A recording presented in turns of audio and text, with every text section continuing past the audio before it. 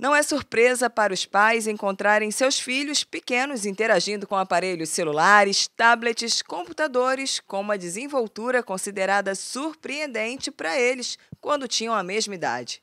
Olhos atentos, dedos ágeis. Essa é a geração alfa, crianças que nasceram já incluídas totalmente nesse ambiente tecnológico.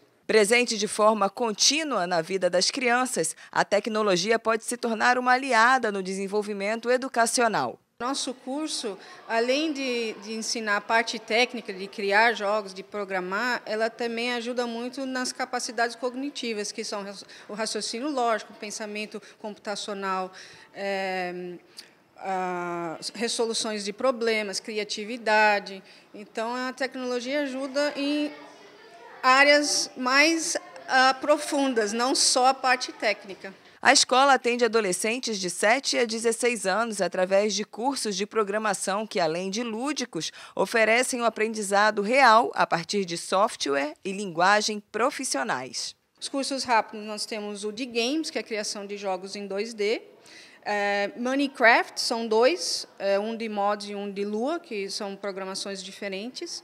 O YouTuber, a, a robótica e Roblox, que terá chegando o ano que vem. E os cursos regulares, que é a formação em si uh, do aluno na programação. Hoje, tão importante quanto o aprendizado de uma segunda língua, como o inglês, é o conhecimento da ciência da computação, que pode oferecer às crianças e jovens oportunidades únicas num futuro próximo, como o futuro que Gabriel já sonha para ele. Sempre foi meu sonho criar um jogo, sempre me jogo, sempre joguei, desde, sei lá, seis anos.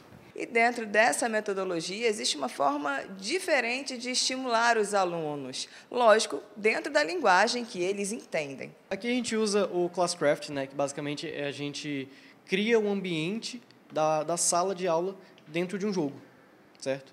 E a gente usa essas formas mais lúdicas de estimular o aluno, né, mostrando, por exemplo, formas dele ganhar pontuação, que seria, por exemplo, é, ser positivo na aula, fazer boas perguntas, não se atrasar, a organização, que é uma forma dele ganhar ponto e, a partir daí, crescer no jogo e crescer também durante as aulas.